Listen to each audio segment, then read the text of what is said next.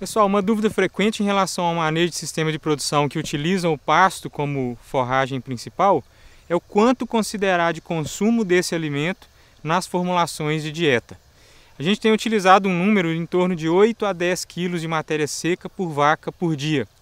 Obviamente isso vai estar relacionado à habilidade de pastejo da sua vaca, tem raças que têm mais habilidade, raças que têm menos habilidade para, para o pastejo, vai depender do desafio ambiental da sua propriedade, vai depender do acesso que os animais têm, têm ao pasto, principalmente em relação à manutenção de corredores, mas essencialmente o que vai determinar esse consumo é a estrutura do pasto.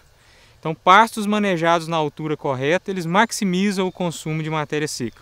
No caso dessa gramínea que nós estamos observando aqui, o Tifto 85, a altura recomendada de manejo para a entrada dos animais é de 25 centímetros. E o ideal é que a gente permita um pastejo, uma amplitude de pastejo nessa altura, em torno de 40% da altura inicial. Ou seja, no caso dessa gramínea aqui, os animais teriam que pastejar uma altura em torno de 10 centímetros.